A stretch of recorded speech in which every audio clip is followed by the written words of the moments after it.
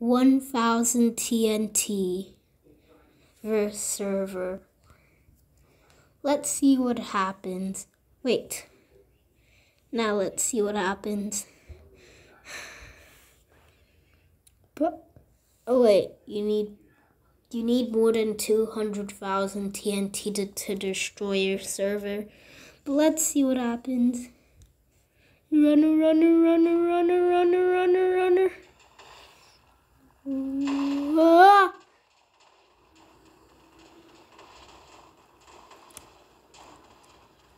There's a bunch of TNT. It's making. Oh my gosh!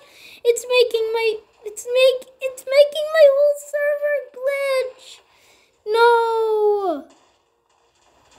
There's lots of sand flying in the air. It's getting in my eyes. Ew. I think I should come back tomorrow. Oh my gosh. It didn't do all of it. So let me go that back and continue. But that was Oh, it's gone. Oh my gosh. Subscribe for more more Minecraft.